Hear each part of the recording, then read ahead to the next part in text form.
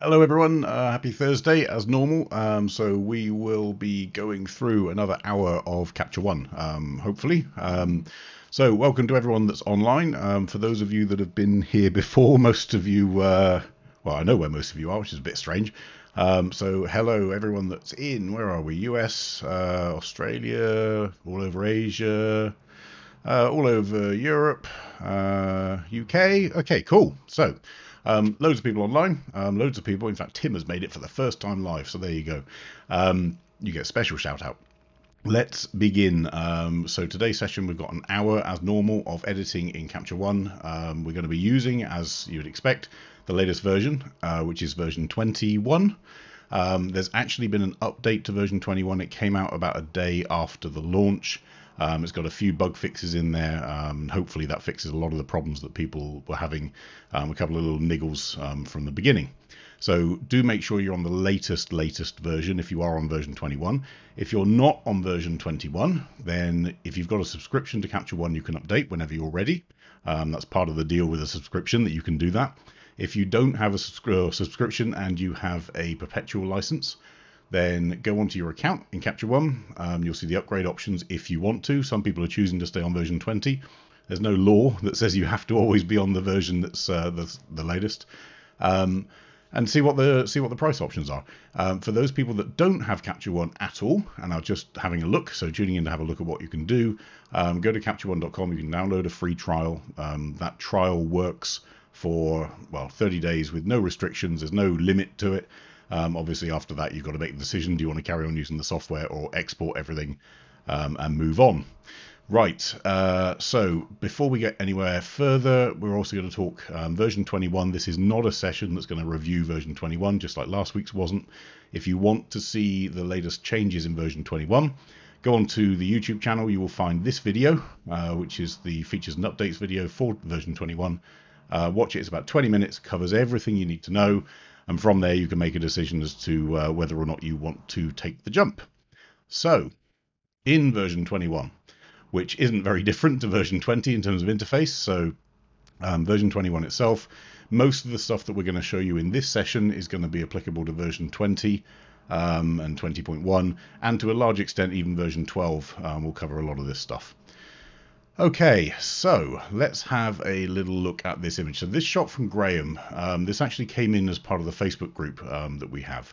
Um, and the question was why in, and I don't want to get it wrong, RawTherapee, which is this one. I think that's right, RawTherapee, but we'll, we'll I'll uh, stand to be corrected if I got it wrong.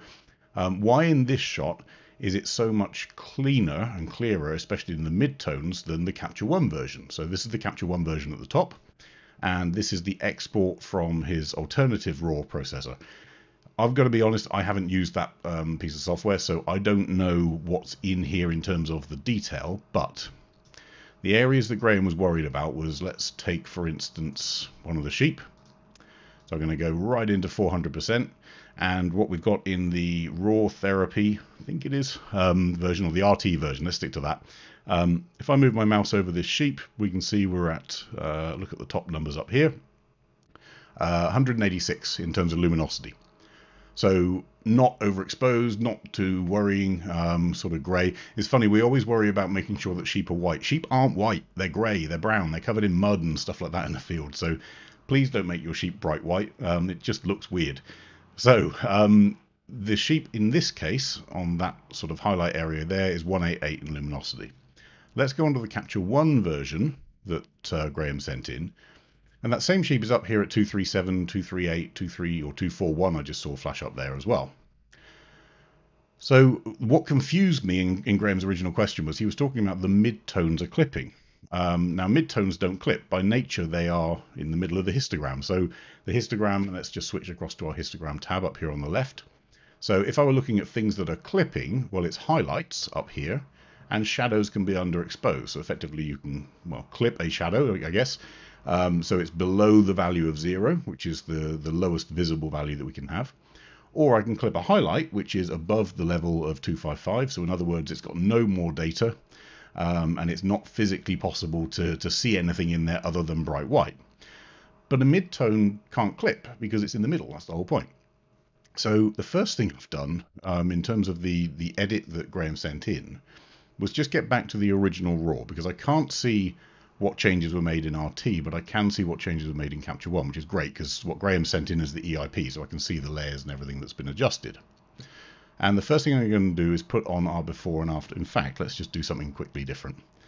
Uh, let's go down to this sheet here, and I'm going to add up here a color readout. So some people have got um, shortcuts on their keyboards to do that. Um, I do. I have the little um, quote and the backslash to add and delete. But I can, whereas I can use my mouse over the top and this will give me a live readout, I can put a fixed readout in place. So that will now not move as I move around the image, and that will give me that readout as we're changing things. So let's have a little look at the before image. And quite rightly, as Graham said, the sheep is a midtone, so it's at 116, that's the luminosity readout there. But after editing, it leaps up to 228, so it becomes a highlight and actually almost to the point of has it clipped. So then let's look at the adjustments that are on here. So we've got a mid-tone there and a highlight there.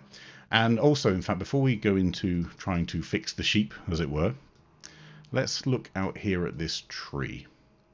So again, let's look at the, uh, in fact, let's do a quick comparison. So I'm going to zoom out. I'm going to choose the other version from the other editor.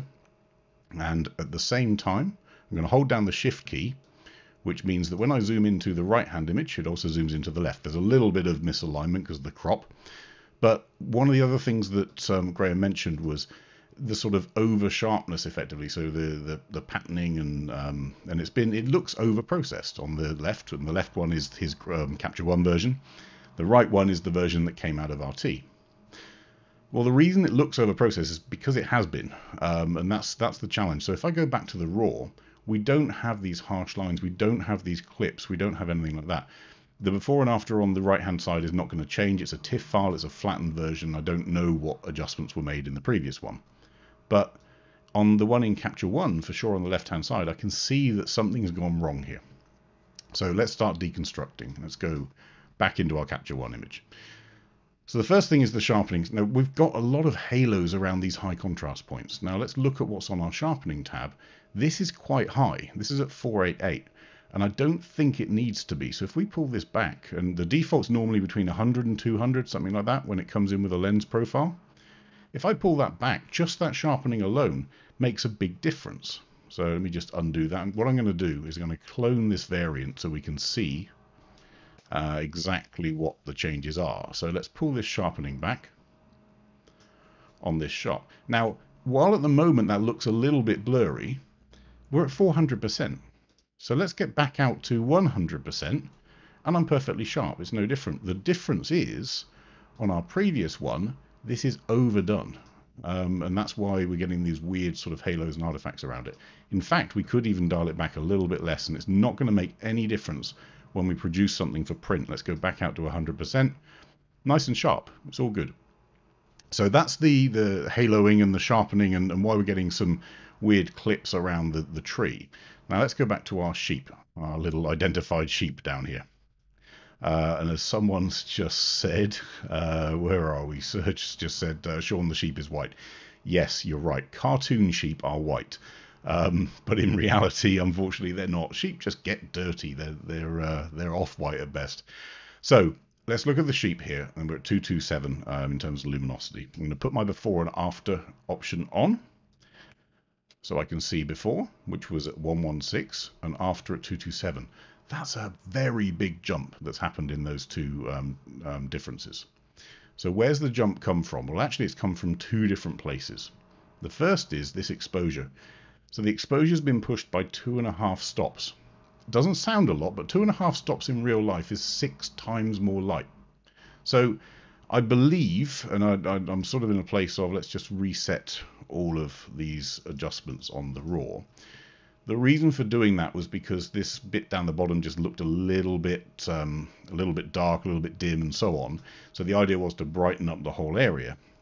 But the problem is by brightening up the area to the point where all of this stuff here is more visible and more interesting, everything that was already on the slight high side of the highlights area up here in the histogram has also shifted a huge amount too, by two and a half stops, quite a lot. So instead of doing it with our exposure, I'm going to pull this all the way back down. And as I do that, you'll see this readout change. Um, so our sheep has gone back down to 160. In fact, I'm going to probably pull us down to about one and a half stops, no more than that. The second thing, and in fact on top of the exposure change, was also this levels change as well. So that's pulling the histogram and stretching it even further. Now we can afford to do that a little bit here, just to bring the overall um, feel of the image to be a bit more contrasty, so stretch that histogram a bit more, which is different to an exposure change. An exposure change takes the histogram and it literally shifts it right to left. The um, levels option doesn't, it stretches that histogram, so it's adding more contrast in, it's making the darks darker, the brights brighter, and you can choose the ratio that you mix it with this middle bar here. So I've undone some of the exposure and I've added on a little bit more of levels. So we still have a relatively bright feeling to it, but our sheep, our happy little sheep, is now not overexposed and over overdone and blown out. So on top of all of that, let's look at what we can do locally. Because if we still want it to look quite bright and varied or bright and, uh, and light, then we can do that, but we can do it selectively. So what we can do is we can add a new layer. Let's call that one foreground. Oh, foreground. It's an unhappy foreground. Um, let's put on a gradient, and I'm going to put a very soft gradient in that sort of tails off up to here. So this is my gradient here. It's going to affect everything that's red. And as it moves up to this point, it's going to have less of an effect. And up to that point, even less of an effect to zero up here. But it kind of doesn't matter because with this layer, all I'm going to be pulling up is our shadows. So even though that, that gradient actually goes into the sky, all I'm pulling up is shadow. But what I am going to do is just add a tiny little touch of clarity into that layer as well, just to give it a little bit of punch. Okay, on top of that, let's now put another one in. Well, in fact, I think actually from memory, Graham's yeah, so the, we've already got a sky version here. So this sky is designed to pull down the highlights. Well, the reason we had to pull down the highlights in Graham's layer was because the original image had its exposure lifted so high that actually you've got to almost unburn and unclip um, some of those highlights. So we can reduce the impact of this layer to almost nothing actually, and we could even pull back some of this exposure. So we get to a place where, you know, don't get me wrong, this sheep is still, to my mind, probably a little bit bright. This is the original at 228. Here we bring it up to 214. We could afford, if we wanted to, now we've lifted the sky to pull this, um, sorry, pull our exposure down just a touch more, down to maybe 207, and we don't get that same clipping effect um, as we do here. So I'm in a place where I, for whatever reason, this this is the RT version or the uh, raw thingy, the raw thingy. Um, this is the raw, the RT version, which I agree um, looks a bit cleaner than the version that came out of Capture One originally. Um, so here's our Capture One version.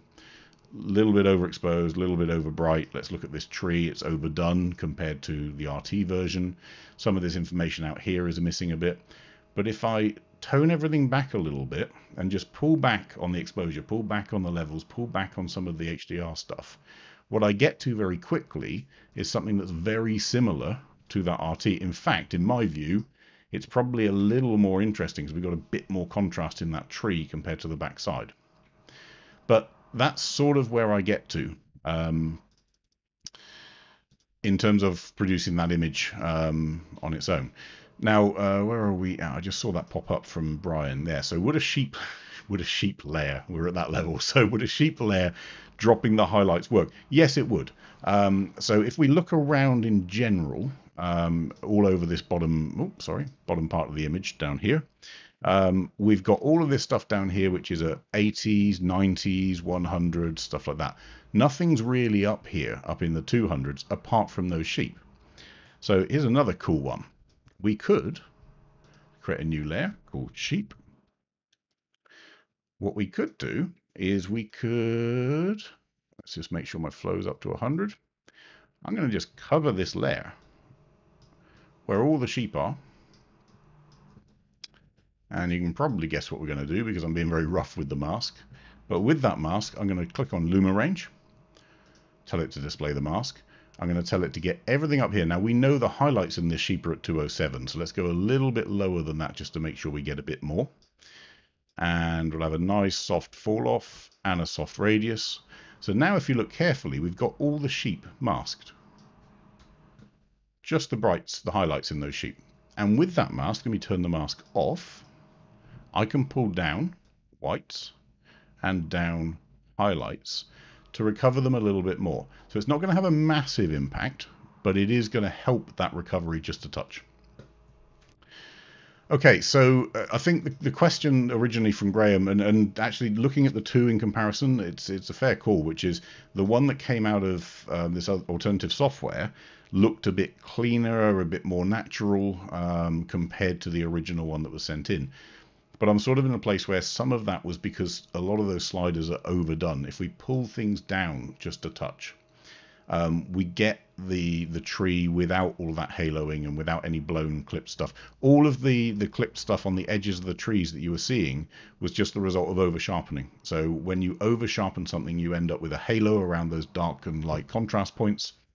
Those halos end up effectively clipping because to make a sharp um, edge, Capture One actually adds a bright area and a dark area um, either side of it to give you the perception of improved sharpness. You can't actually sharpen an image. You can give the perception of sharpness, um, but that's it. So the tree is fixed. Um, the sheep are no longer at 228. We're down at 204. We could push that down a bit more if we wanted to. But if I want to make this image feel just as light as it did before, well, with the sky, I can pull our exposure up a touch. And with our foreground, I can, if I want to, pull our shadows up a bit as well. Could even introduce some saturation just to give it a bit more richness. Now, as you do that, you're going to get this sheep increasing a little bit too. Um, so we want to be careful. Maybe we just pull up a little bit of blacks at the very bottom end of those highlights. Keep it back down um, to 207. Um, and there we've got uh, everything looking a bit big, or a little bit better. Sorry. Yeah, tongue-tied. Okay. A uh, couple of uh, questions. So Earl saying, I wouldn't care if the sheep are clipped. Um, yeah, smart, cool. Um, so uh, Mobius saying, dehaze could also cause the sharpness and the distance or create yeah so if we wanted to in, in 21 obviously you've got the dehaze slider we can do it an alternative way um, but for the sake of speed let's just add in an extra little layer um, and I would encourage you to do dehaze in moderation always. And let's just do that there. And let's just slide up our dehaze a touch. There we go. Um, and we end up with a lot more detail in the background too. So with a few extra steps and more importantly with local adjustments rather than just a global one, um, you get to a place where you know that was the original that you sent in. Um, this is where I get to with a few different layers and this is the one from that RT software. Um, so the original um, premise was that the RT does a better job um, than what we could do in Capture One. I think with some more selective adjustments, you can get to actually a better place, um, but it might take a bit more time, um, and that's where we uh, that's where we get to. Okay, so that's uh, that's Graham's shot. Let's move across to one from Jens. Uh, oh, let's just get rid of that color readout. It's going to be annoying. Okay, so the question, that this is actually a, an image that was sent in quite a while ago, so sorry about that, Jens. Um, the question that came in with this one was about sharpness. Now, it's a it's a nice shot. It's composed nicely. Um, we're at f4 at 200th of a second. Um, it's a long shot. Um, I'm not sure actually if we have the lens data. 135 mil. Okay. Um, so you know, uh, let me just, uh, I'm actually going to show you. Let's create a new variant. So this is the original shot. Um, and the question was, you know, can we give it more presence? Can we make it sharper? The answer is no. Um, it was shot through fog. Um, the focus isn't quite right on this person. I can't quite find the exact focal point. Part of that's because of the fog. But what we do have as a result of waiting um, a little while to edit this picture is a bit of fun with the dehaze tool. Why not? Um, let's just do it on the background and see what we get. So out of the blocks with one click, you notice I didn't even choose a shadow tone. Um, out of the blocks with one click, we've got an improvement. Now, of course, we could do this a lot more refined if we wanted to. We could draw some masks in here. We could change those levels. Uh, we could do a lot of work in this to make it even clearer and even punchier.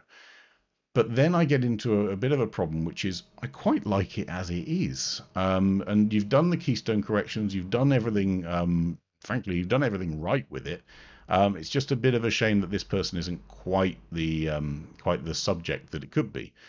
We can fix that now. Um, let's just show you with a little extra dehaze function. So I'm just going to go to my brush, make sure we've got a really, really soft edge, and I'm going to go back to my old old ways of opacity.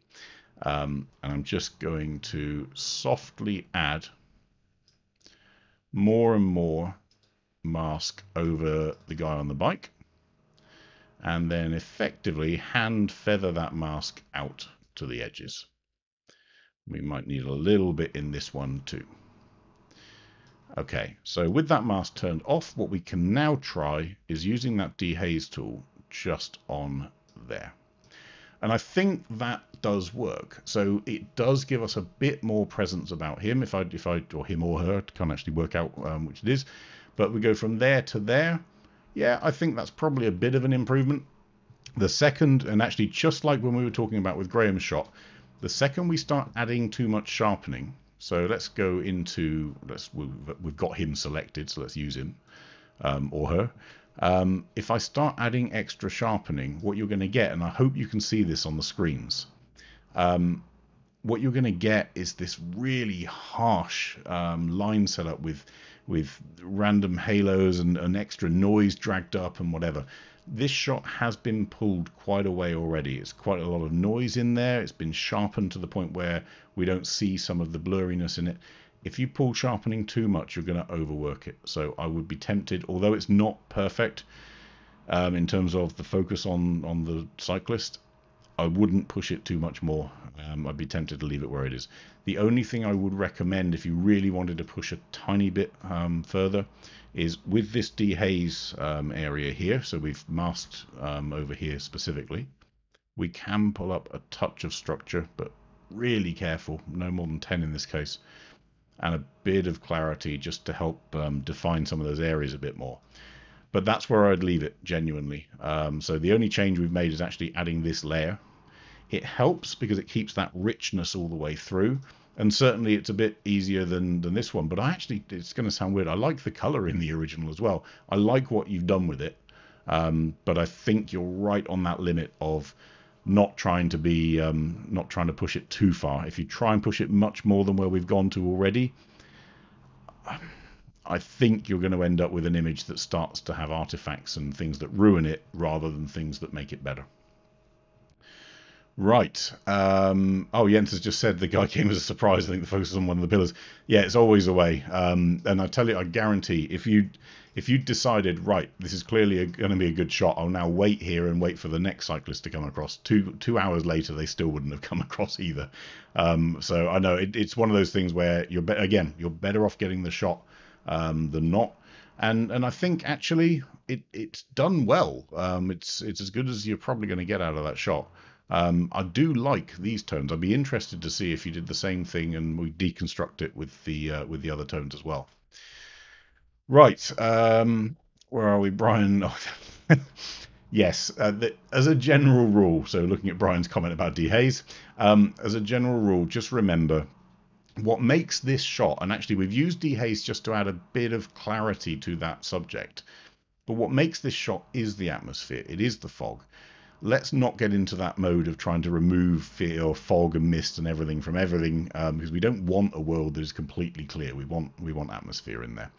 Um, Vernon said the muted colours work well. I, I agree, and actually you've got a few different versions that Jens sent in. So we've got the black and white version. Um, this is the original. This is another one with the original colours. Um, this is the one that I think you settled on. But again, um, if we don't like that, let's just create a clone if we go back to our shot white balance, then we get a much cooler version of it as well. So we end up with these two as options. I think adding in a bit more richness into the middle helps, um, but don't push it much more than that. Um, where are we? Barry's just asked, what are my thoughts on Capture One doing a major overhaul on the Keystone tool? Um, I find it cumbersome. Uh, yes. So, what are my thoughts? I think it's about time the Keystone tool got a major overhaul. Agreed. Um, and actually, some in, in some ways, um, when I'm shooting either from rooftops or, or even even actually from below and shooting up to a city, um, there are a few things I'd like to see in the Keystone tool. I'd like the auto zoom stuff. I'd like actually for it to be live preview. So in other words, as I'm stretching things, I see the effect that it's having rather than moving lines and then um, clicking the button. Um, but I've already fed some of that back in. I would hope that everyone else is feeding some of that back in so we can get a bit of gravity behind the idea um, and hopefully see that feature um, tweaked and improved long term.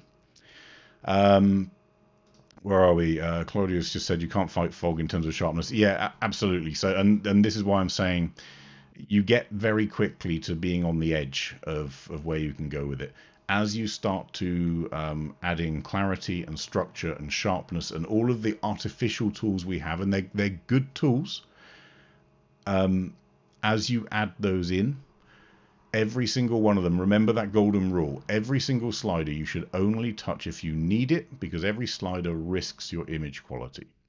And in this case, we're using a lot of sliders, a lot of tools to try and um, shore things up you'll get to the edge of where it starts to um, degrade and stop there. don't, go any further. Okay, um, let's have a little look at another shot. Um, so this was one from Steve. Uh, there's a few from Steve actually, but um, this one I'm just going to touch on it um, because I'm going to then come across to we're going to do some pano stitching just for fun um, and talk about some of the limitations and, and, fun and games that go with it. But with this shot here from Steve, um, it's it's processed really nicely. So again, Steve sent in the EIP, which helps me because I can see um, all the things that have happened on the shot. We've got rid of some stuff uh, on the water. We've got a little bit of color richness in here. Um, and I'm going to say genuinely, there's not a lot I would change in this shot. There are a couple of little tweaks. So one, when I had a look if I do a slight straightening tool, we ended up with a tiny little twist. I can't remember what it was, but it sort of went a little bit, oh, sorry, a little bit the other way um, when I did it, but it's mine. It's tiny, tiny, tiny, or tiny minor. The only thing that I got to, and this is a personal preference, um, was changing the crop ratio. So at the moment this is four by three. I'd be tempted to do two by three um, simply because I can still come up here to that tree, but it just feels more immersive. The, the, the tighter the crop, when especially when it comes to something like a, a, a building on a lake, you know, the subject isn't the lake itself. I don't need the grand vista. I don't need the top and bottom so much. I don't need all of that sky up there and all the water down below. And that two by three crop is a slight panoramic. It's obviously not um, two by one or anything like that. Um, but to me, that shift across to, to a slightly wider proportion gives me something a little bit extra. Um, and I like the fact that it's it's a bit tighter when we do that. Um, otherwise, honestly, um, and this is gonna it's gonna sound like a bit of a cop out, but if I go before and after on this one, it's a nice, um, sympathetic um, edit to the shot. I don't see any halos. I don't see any um, high sharpness areas. I don't see any issues with over clarity or, or, changing white balance too much. What I do see is a lot of detail recovery, which is nice out here. Um, it's done really well. So genuinely, Steve, it's a nice shot. Cool. Get it printed. Get it on a wall. Um, let's uh, we'll come back to bills in a second because I just want to spend a little bit of time on pano stuff. So um, Graham's shot. Hopefully, we fixed um, that challenge. Jens's shot hopefully we, we've talked enough about sort of getting to that point and not going much further, but there is something you can do with a bit of dehaze and a bit of clarity just to improve um, the richness of your subject. And Steve's shot, you know, personally, it's just a crop thing, um, but there's there's not a lot more I would change with that. It's a really nice shot. Right, uh, pano stitching. So as we all know, Capture One does not have the function or feature or ability to stitch multiple images together. Just turn off my before and after.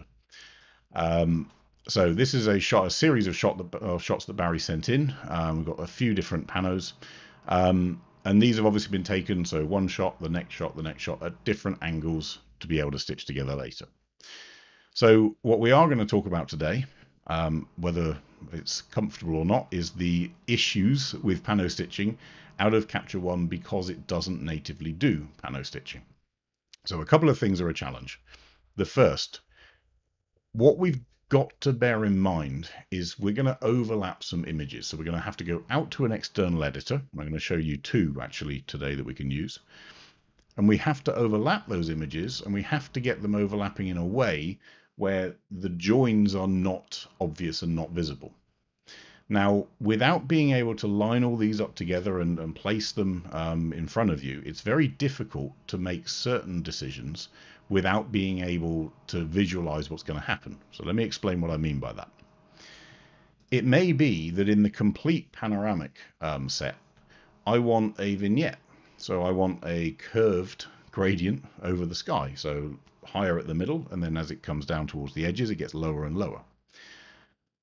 Well, I can't do that on the individual images. Well, I could, but oh wow, that's a lot of work. So we've got to bear in mind the limitations that we have in the individual images versus the panoramic, and then take it into an external editor, and it may be there that we need to do some more tweaks for now.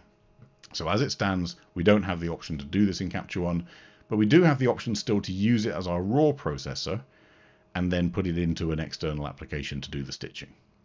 So if we bear in mind the sort of, I guess, second golden rule, um, as it were, is especially with pixel editors, is do the pixel editing last.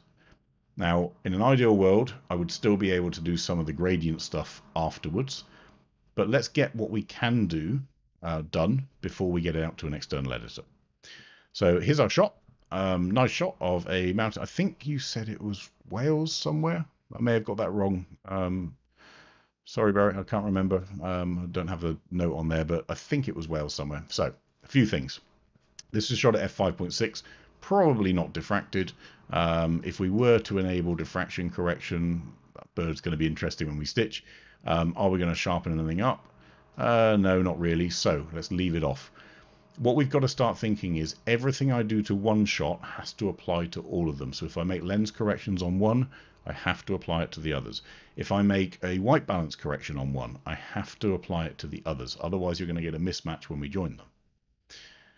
Now, beyond that, in terms of things like gradients, they have to line up.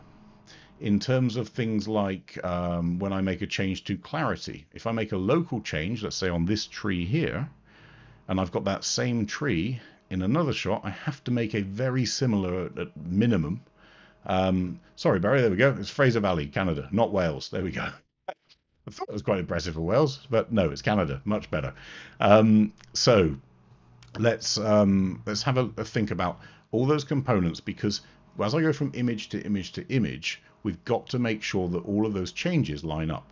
For that reason, typically we would start on a middle image. So if you've got three, four, five, six, seven, or whatever images, you're probably going to have one side is bright, one side is dark. Well, in this case, we need to edit that image as if it were a whole. So the easiest way to do it is to start with one of the middle shots and use that as your base edit. So in this base edit, we're going to do some pretty simple, pretty quick changes. So number one, and again, think about the fact that we want uniform changes. So whereas potentially I might be tempted to draw a little mask over here, um, let's pull that up to there and make a change to this area. So I might then pull up my shadows. Well, that's fine. But what happens when I go to the image next door, which still has a part of that in? Now I've got to remember where that mask ended, try and replicate it in this image. No, no, no. So generally speaking, at the moment with, with the tools that we've got within Capture One, you want to be looking at global adjustments because a global adjustment I can apply to all the individual frames and then they'll stitch together nicely. So in this case, what was I drawing a mask over that for? Well, I wanted to bring up the black. So let's bring up the black slider and we're just gonna, we're just going to do it globally. Um, now we're only working on one image right now. We could select all and do edit selected, but instead I'm going to do one image and then we're going to apply it to all the others. So that's our shadows brought up. What about these highlights, these whites up here? So let's just move our mouse over here. So we're at 228, 227. They're not actually whites, they're highlights. So with our highlights, we could pull them down just a touch. Again, don't overdo it. Um, And then we'll talk about the sky in a second, but in general, down here, this looks pretty good. I think, Barry, you mentioned um, on your email these trees do look pretty orange. Um, or something like that. So um, we'll we'll leave them um, as they are to a certain extent. What I might be tempted to do is just pull down the overall saturation, or maybe even pull down the warmth. So we bring the Kelvin down a little bit, and also the tint just to match.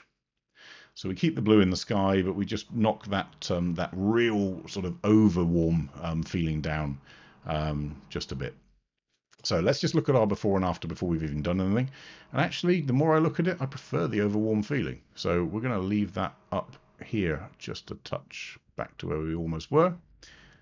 Okay, so we've got our detail here in our shadows. We've got our detail back in our clouds up here. So beforehand, we had a slight risk of clipping here. Here we don't. Really nice. Um, let's look at our sky. So at the moment, we might want to balance out our sky. Again, be really careful and think about this. We're going to stitch these images together. If I create a gradient, which is on an angle, let's just get rid of our thing here, and I copy that to the next image, well, at that point that they join, the low part of image 1 is matching the high part of image 2, and you're going to get a sawtooth effect as they go along. So again, unfortunately, when it comes to joining images together, we've got to stay global. We've got to down straight. So I'm holding down the shift key and use my gradients as if they're global and are going to apply to every single image. For that reason, it's also important that when you record your images, you have your tripod level and straight, which luckily Barry does. Okay, um, Ralph has just said, wouldn't this be the perfect example of speed edit to adjust several images at once?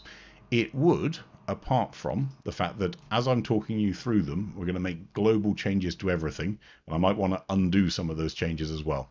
Um, you'll you'll see in a second why. So we have uh, our new well, where are we? Mask up here. With that mask, I'm just going to pull down our exposure a touch, and actually going to pull up our saturation a little bit too. I might even be tempted to split tone this a little bit so we could either warm up the sky or certainly add in a little bit of tint onto it. That's looking pretty nice. Be careful with this. Never ever change the sky to the point that the ground or the foreground or the reflection more importantly doesn't match. I saw a picture um, a couple of weeks ago which looked incredible at first um, first glance. It had a stormy sky, and then the the building in front was dark. You looked at the reflection, the building was light and the sky, um, sorry, the stormy sky and the building was light. Looked at the reflection, the sky was dark, oh sorry, was light and the building was, was the opposite, it was completely dark. Um, just be careful. If you're going to make any changes that split the image in two, yeah, just be really careful. Okay, so We've got our, our main changes done. Let's just move our before and after. So we go before to after, and all we've done basically is calm down some of the highlights in the sky and bring up some of these foreground colors and, and textures and so on. In the foreground, could we add a little bit more warmth? Maybe, but I'm tempted to leave it as it is. It's, it's pretty, pretty accurate.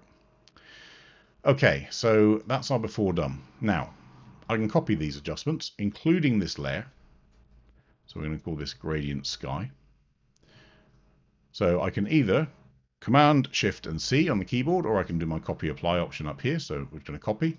I'm going to choose the other three, and we're going to go to apply. So now on all these other ones, they've got the exact same mask, the exact same gradient change, the exact same exposure change um, and high dynamic range change at a uniform level, and that's the key thing. So when we want to stitch an image together in the point of capture, we want to make sure our white balance is locked. We want to make sure our exposure is locked. We want to make sure that the camera is level and we're spinning on one axis in, in broad terms. That's the idea. When it comes to editing, we want to make sure that our edits are uniform and relatively flat because as we move up and down or left and right and so on in the image, the risk is that those edits, if they're at an angle or if they're specific and local, you can't replicate them well enough on the next shot, and then you've got some blending challenges. Okay, um, let's have a little look at how we get these out. So I'm going to show you two methods. The first method is probably the um, the neatest method, as it were. Um, so let's go to edit with, Uh, you can't quite see that, sorry. Let's just get you onto here. So edit with, and we're going to go into Photoshop. So Photoshop, this case 2021, and I make my setting changes. So I can say I wanted it 100%, 16-bit, Adobe RGB, uncompressed TIFF, fine.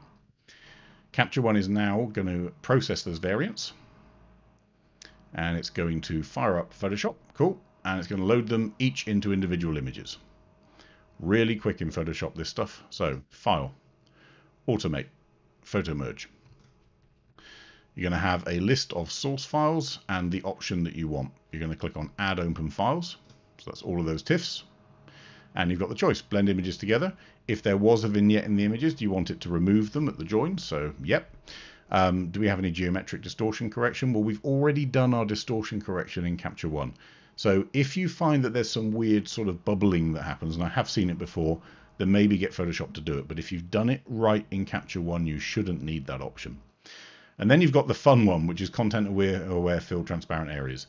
Personally, I wouldn't. Um, I've seen content aware fill do good things. I've also seen it create random things that were never ever in existence. So I would leave that off. And if anything, you can do it manually with aware fill later on. You can choose the layout if you want. So you can choose whether it was a, a perspective pull, so you've got um, sides and everything looking down the side of the tunnel, or you can choose whether it's just a traditional cylindrical um, or spherical um, placement of images, or let Photoshop work that out itself with auto. Click on OK. You'll see it build an image or a file with a load of different layers on it. There we go.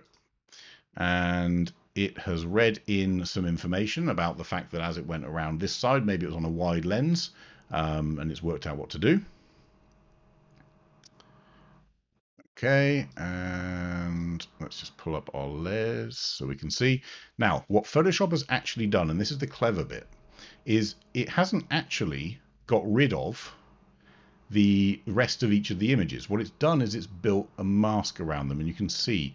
So on our first image here, it's actually masked off all of this area here because it's decided to blend it with this image, which it has masked off the other areas. And it's decided to blend that with this image and this image. So it's actually kept all four images when it's just created masks basically um, that bring all of these images together. Now that can be fine as long as you don't have things that are moving. Because what can happen when things are moving is you might want to take um, part of image one and put it into image two and so on. Now, of course, in Photoshop, we can add to that mask. We can um, overwrite some of it. So uh, let's have a little look.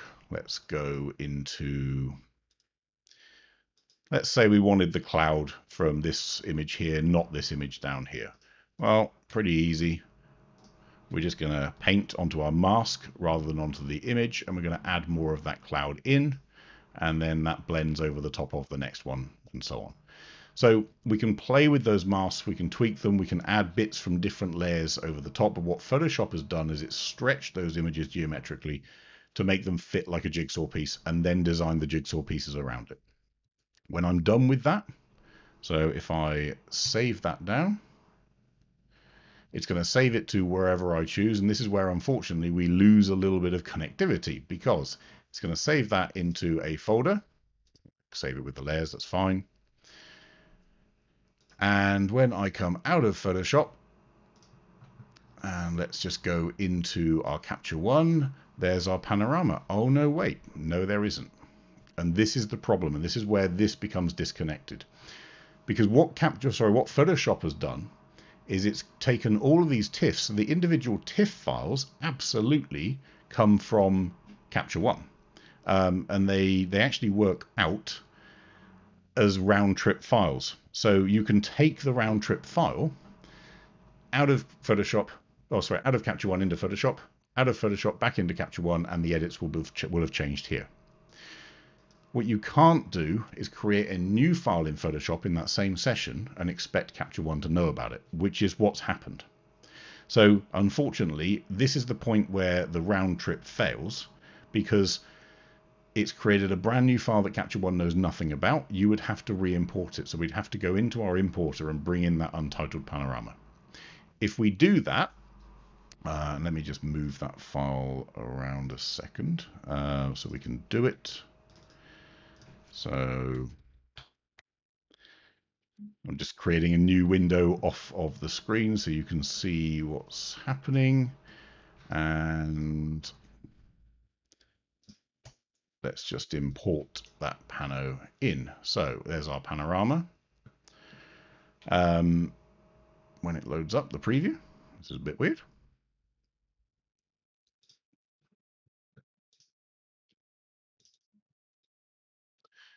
And there's our stack. So there's our panorama.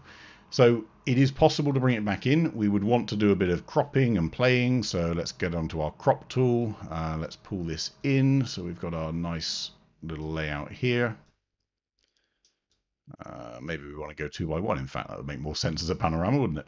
Um, so let's pull out to there. If I had done any content aware fill in the areas um, on the outside, then of course that would have come across as well in the TIFF file. But we then have our panorama stitch.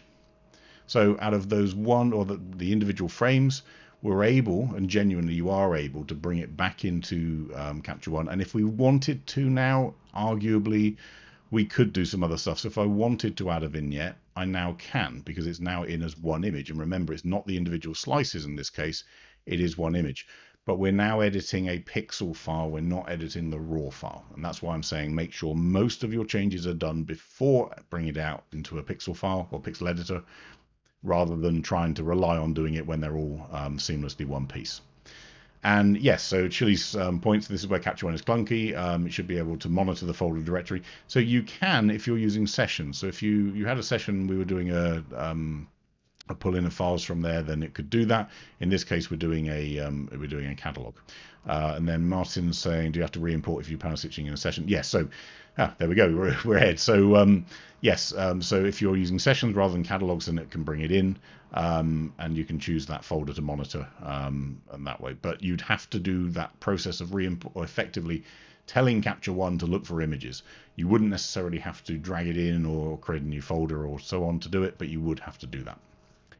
Okay, uh, Roger's just asked, might you have transformed the final version rather than cropping? Yeah, we could have done, and actually, this is where I come into a little bit of a sticky place because from the point that I'm in Photoshop making these changes, personally, I would stick to being within Photoshop um, because in there we can do some some alterations. Let's say to the image, we can we can pinch and punch, we can pull up um, and distort um, different areas of the image. We can do content aware fill we can do all that stuff, um, but um, if you want to round trip it and keep most of your stuff in Capture One, this is one of the ways to do it.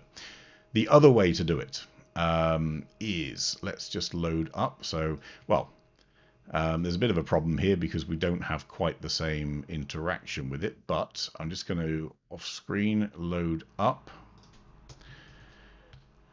Another option, which is Affinity. Um, where are we? Let's just lose that comment from Roger a second. So in Affinity, I can do a new panorama. Now, to add my images, well, actually what Capture One has done, as we saw, was it's created these four TIFFs anyway. So if I open those TIFF files in the right folder and say Stitch Panorama, um, then Affinity is going to be able to load that in and do its own job. Now, Affinity and Photoshop stitch images very differently. You can see in here, Affinity loads it up with all of the um, differences from frame to frame, and then it blends. Um, so it's a very different process to what Photoshop does. Photoshop is literally doing um, a jigsaw puzzle. Affinity does a little bit of a, in my view, smarter job of stitching panoramas, um, and it can result in a slightly better um, output, in my view, but that's just my own view. Photoshop, I love. I've always used Photoshop for a long, long time, but in this case, um, what Affinity have done with their pano stitching just feels a bit more complete. So the process in Affinity is, is really, really quick or quick. You can make those changes. You can edit the pano. You can, just like in Photoshop, you can draw in from a base image. You can erase from a base image as well um, and choose the frames that you want to use for different areas. Um, let me just actually, let's just give you a little bit of an example. So Let's do that exact same panorama again. So I'm just going to add those TIFF files, go to open, say stitch panorama, and okay. Now, let's think of an example. Uh, remember this bird that was flying here?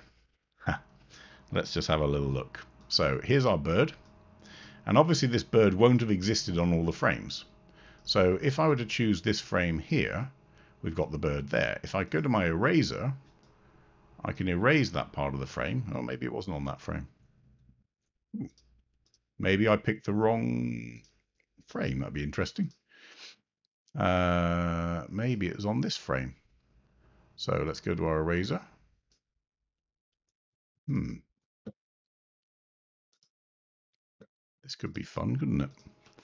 Um, because if I draw, no, it is on that frame. How odd. Let's just draw in a bit more of this one into there.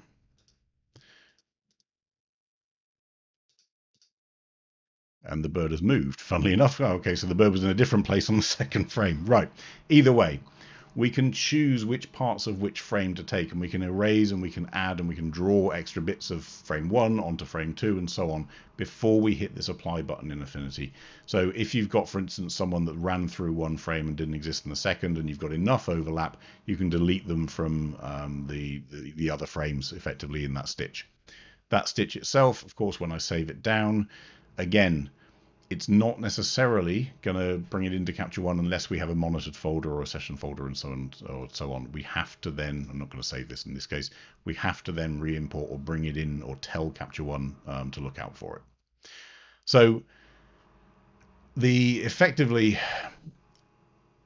the ability to do stitching within Capture One is not there right now. The ability to round trip it out to external applications also is pretty clunky, um, but there are ways of doing it. So what I would encourage people to do is edit the raw as much as you can, but remember it needs to be uniform edits.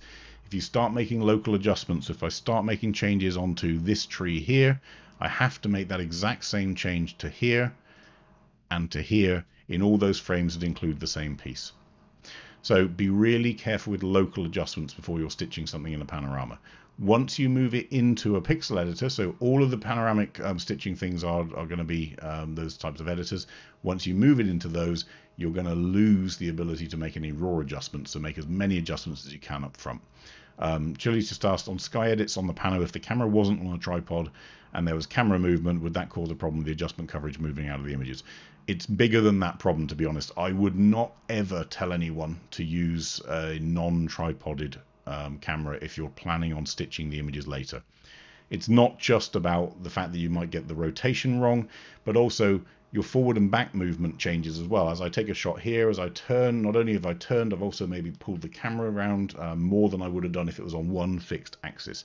If you want to get really um, passionate about it, you actually need a pano head, which is going to change and move the camera around the actual nodal point that's correct for the camera rather than the back of the camera. So typically we mount our tripod to the base plate on the back, on the bottom of the back of the camera we actually need the the camera to move around the lens point rather than the um, the back of it. So you can buy a head that you would mount your camera onto, and it move it changes the the rotational point or the axis of where the camera is moving to for a better stitch. Or you can use a shift lens. So if you're on a technical camera, you can shift your um, image circle around or the sensor around the image circle to to stitch. I wouldn't recommend stitching handheld. Um, you're just starting off from a place where you're going to be recovering a lot of problems. Um, okay, so Brad, can we easily demonstrate the loss of fidelity in the adjustments between a 16-bit TIFF and a RAW? It's not necessarily about loss of fidelity, to be honest. So um, the 16-bit TIFF, compared to the edited RAW, will will appear as long as you've done your color management correctly, will appear pretty much the same. The issue is what I can change. So in the RAW file, if, for instance, I brought this pano in later and decided, huh, those shadows need pulling up a bit more because I've got some underexposed areas the raw file still contains the information beyond what's visible in that 16-bit TIFF. The 16-bit TIFF, if that pixel is zero, it has no idea what was to the left of it. It's too late. So it's not about loss of fidelity in terms of image quality, it's about the loss of flexibility later. Um, where are we? So is there a, we've got a question, is there a new problem with hardware acceleration? Not that I'm aware of, to be honest. Um, I've seen a couple of people on 21 talking about these rectangles that are appearing. I'm not sure what the issue of that is. Um, but yeah, just um, just keep an eye on it. But I'm, I'm sure if there is a problem, people are going to be looking at it. Um, John's just said uh, Photoshop lets you adjust the masking of the merge. Yeah, we, we showed that, John. So um, when you bring in that merge, um, you've got masks applied to every single one of the frames. The difference is that it doesn't do that extra step that Affinity seems to do, which is blending, um, where it's got enough overlap to do that. What it tends to do is jigsaw cut um, rather than uh, rather than a nicer blend, as it were. Um, where are we? Uh, Capture One can introduce a watch folder in catalogs as well. Um, so Prasad, I know you are a big fan of putting in feature requests, so put that one on your list. Um, but yeah, I mean, there's nothing wrong with the request to do that. Um, let's see if they can. Uh, the only thing with with watch folders is you're adding extra time um, in processing terms to keep an eye on what's what's going to come on. Um, okay, and then Tim's saying, yeah, so for this kind of stuff, in my mind, I always consider it a one-way trip. Absolutely, and that's, I guess, the the essence of what I'm trying to get across, which is if you're planning on stitching lots of images which were taken, the temptation, for example, if I'm on the right hand side and it's overexposed, the left hand side is underexposed, the temptation is to tweak the exposure from right to left. The problem with that is you're going to have this sort of waviness that appears as, as your pixel editor tries to merge all those together because the exposure is going to jump. Um, you're better off using HDR, so highlight recovery or shadow recovery, which can be global to deal with those overexposed and underexposed to flatten and then it's going to do a better job of joining those images together. Uh, and yes, Simon, uh, tilt shifts are great for panos. They absolutely are, um, which is one of the, uh, the advantages of a technical camera or tilt shift lens. Okay, um, so let's just do quickly, finally, very quickly, onto Bill's shot. So Bill again sent in the EIP um, of this shot here. Um, this is the raw. And I like what you've done. There's a couple of things that just feel a little bit wrong, uh, which I'm going to cover in a second. But overall, from before and after, it's it's a nice edit. Um, I think one of the challenges you have got for sure up on my sky layer, if I turn the mask on, so hopefully you could see it before we even turned the mask on, but you've got this area up here which is haloing a little bit. We also have a little bit of uh, chromatic aberration up here which we can remove if we go to this tab here. So go to your lens tab. Um, you see these green areas up here and this red area here. Um, we can also turn on a bit of purple fringing correction too. This is chromatic aberration. If I turn on my chromatic aberration option and tell it to analyze, it's going to look at the image, find all those areas, and all of a sudden, all of those bits are lessened. They won't go completely, but they're certainly going to be better than where they were before, which was bright cyan. Now up here in this halo, let's just turn our mask on, it's simply because the mask doesn't cover that area. So what I would do personally is I would be a little bit more aggressive with the mask. Don't worry about the rocks because all we're going to do is go to our luma range and exclude anything that's dark like those rocks from the mask. So just by dragging that luma range up, we're now including everything that's bright all the way down to 60, slowly falling off down to 25, a soft edge so we don't notice the edge and all of a sudden we don't have that halo around the rocks. So it's the right thing to do instead of trying to do HDR to do it, um, to just blend in a little bit of a mask and then pull down the exposure, if that was what you wanted, but just make sure you do get the masking correct. Okay, um, let's also look at, there was an, a slight, and, and it, to me it's just visual. There's a weirdness that happens where this is very bright and this is very dark. Um, and if I go to the before, it is exactly the case that it was, but I'm just tempted just to bring this down a little bit more. So just a, a small extra layer, um, not a lot of opacity. I'm just going to roughly draw over here and again, it's a subtle change. We don't want to make any massive drastic changes, um, but let's just go to our exposure and just pull that down a touch just to even it up. And then overall, what I would be tempted to do, I'm just going to fill that layer. So I've created a new layer. So I'm going to call this one left rock. And with this one, uh, we have a filled layer, so everything's on there. We can afford, if we want to, just to pop with our curve the mid-tones up a little bit. So this doesn't increase the brightness of the highlights. We're not pushing the highlights. We're not pushing the shadows. This is the opposite of HDR. So in HDR, we try and pull everything into the middle of the histogram. Um, with our curve, we can pull those mid-tones brighter while leaving the shadows where they are and leaving the highlights exactly where they were too. Um, oops, sorry about the zoom. So to me, that would be the only changes that I'd make. Um, but overall, it's a good edit from where we were um, to start with. It's nicely done. Okay, guys. Um, so if there are a couple of questions, I think. Um, so Tim's, yeah, another gorgeous shot. Absolutely, um, agreed. Um, the glitch with 21.1 or 21.01, remember, um, is the resource display uh, Capture One starts and doesn't display images. Uh, lodge it as a support call. Honestly, David, um, get it, get it in. I know that the guys are getting a few support calls at the moment, but get it logged, and then it means that you can chase it up a little bit. Um, right, uh, Danny, the shortcuts to increase the size of the brush. Um, if you go onto Capture One site, you'll see there's a shortcut list. Um, but in general, you can do a quick adjustment to a brush. Uh, you can use the square brackets. So right makes it bigger, left square bracket makes it makes it smaller. In new Capture One 20, you can use the um, Control and Option keys um, to Control Shift and Option keys, sorry, um, to make changes with your brush tool with your mouse by sliding and, and so on. Um, but there's a whole list of shortcuts that you can get from the Capture One site, um, and you can use it as a bit of a reference. Okay, uh, so that's it for today. Um, we will continue, if necessary, anything over on that Facebook group. Remember, next week um, we did a bit of a poll. Most people wanted to shift to Wednesday because the 24th is busy for a lot of people. Um, so we will be doing 3 o'clock on Wednesday, the 23rd, instead of the normal Thursday. And we'll look at the week after um, following that. In the meantime, remember you've still got the option to look at the version 21 features and updates video that we did. It's about 20 minutes and it will cover most things. Um, Danny, in terms of your question, actually there is a um, guide that comes up on screen of all of the options for all of your keys um, to make changes to your brush, but the square bracket is the quick one for bigger and smaller. Um, and remember, you've also got all of the other um, sessions that cover clarity, brightness, uh, exposure guides, and, and all that sort of stuff that you can watch for free. Um, send in new images if you want. Um, send them across on that WeTransfer page. That gets directly to us. Um, but remember, please, to include the raw file, not a JPEG, and also your name. If we don't know your name, I don't even know what folder to put your image into, and then it becomes a bit difficult. So there we go. Uh, in the meantime, stay safe, and we will catch you in six days, not seven. Cheers, everyone. Bye bye.